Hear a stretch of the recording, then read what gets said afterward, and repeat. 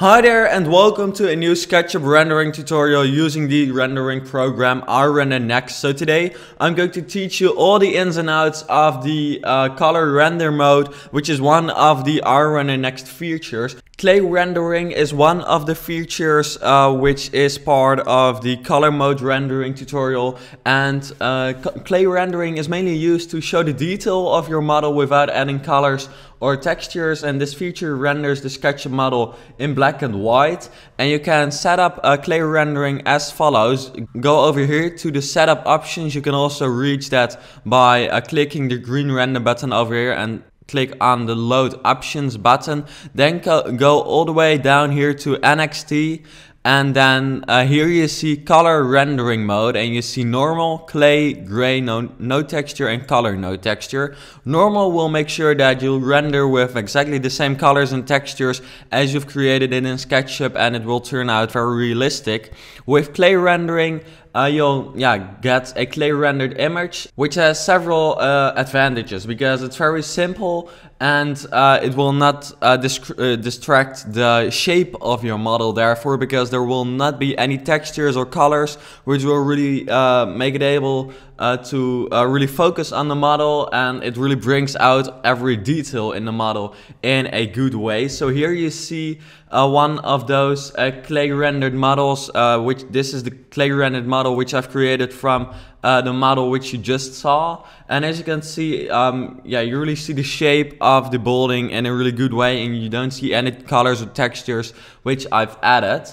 Um, so as you saw, that was very easy to do. Simply make sure that you select the one in uh, the load options area or the setup options area and then uh, just click the green render button. Maybe add any changes which you want to have uh, next to these uh, clay render settings, but that's basically it. Another option is the uh, gray mode, uh, which means that there are no textures and the color is grayscale. You again have to go to the uh, setup options, go to NXT or next, and then click the one right to the clay one, which is gray, no texture. And then you have to click the green render button and it will start rendering. But there's something you still have to change over here uh, opposed to the different one, uh, the, uh, the clay rendering, which we just did, which was done all by itself. So here we are and as you can see uh, the image uh, of our model has been rendered but as you can see there are no textures and the colors which are still in the image are just the colors of the textures but the textures are not there anymore and furthermore um, yeah it's not black and white as you can see and this is gray mode so therefore uh, you still have to change the saturation so by doing that you have to go to the tone operator which is this button over here uh, and then you have to go all the way down over here where the saturation is right now 100 but we can turn that down. And if you turn it to zero you'll see that a gray a white black and white or kind of gray tone image has been created. So if you now click close you'll have a, a gray tone image um, with without textures and without color uh, but still you uh, really see the shape of uh, the model that you've created in a really good way so uh, therefore this is quite useful